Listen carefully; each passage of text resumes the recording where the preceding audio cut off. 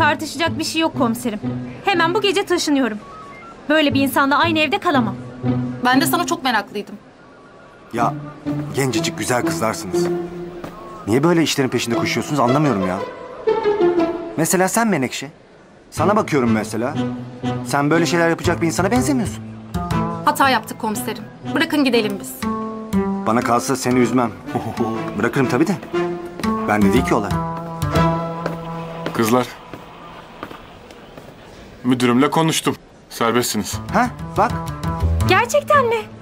Çok teşekkür ederiz. Komşuluk ölmemiş be. Çok sağ olun komiserim. Ama bak bir daha sakın. O evde kağıt bile oynadığınızı görmeyeceğim.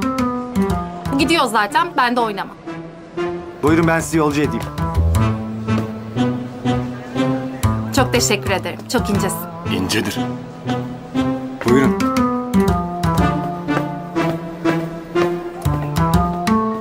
Çok